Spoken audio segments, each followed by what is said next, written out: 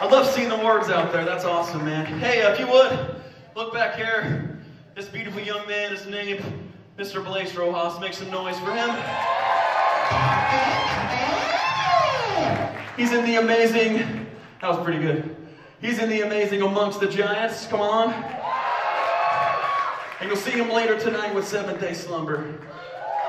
So, this guy is uh, adding another band to his fill-in list. He's been playing with us, um, and he's just absolutely killing it. One of the best dudes out there. So humbled to have him on board. Love you, man. Yeah, hey.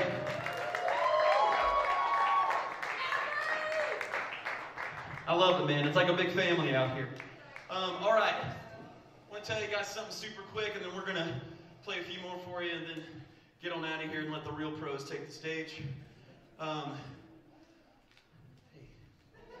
uh, short and sweet. If I can tell you one thing tonight that's more important than, than anything else that's going to come out of my mouth or from our band sound tonight, it's this. You are loved by Jesus Christ, the creator of this universe, sent his son Jesus to die for your sins because he loves you and wants to spend eternity with you. I'm not here saying that I am perfect, far from it. Every guy and gal on this stage tonight will be the first to say that we sin and we fall short all the time. But we've found this gift called grace and it is free. You have to be willing to step out and leave the old you behind. And it's not easy, man. There's a lot of days when the old me creeps back up. It's very hard. But I would tell you this God has radically, radically changed my life. I have hope now. So if you came here tonight struggling with an addiction, maybe you're anxious, you're depressed, you hate the way you look in the mirror, maybe you're cutting yourself, maybe tonight you're going to go home and uh, commit suicide. This is your chance. Tonight, whether you're a Christian or not, that has nothing to do with it. You're a human. To leave that at the door.